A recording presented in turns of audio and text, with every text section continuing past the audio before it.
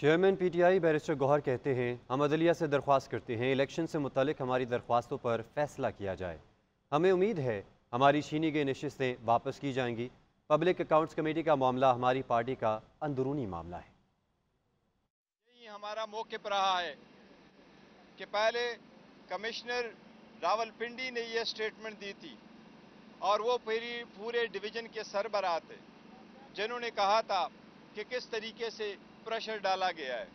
अब एक वज़ीर अजम जो केयर टेकर वज़ीर अजम था, जिसका काम ही free fair and transparent election करवाने में इलेक्शन कमीशन को सारा हेल्प प्रोवाइड करना था, वो खुद कह रहे हैं कि किस तरीके से ये इलेक्शन रिग हुआ है।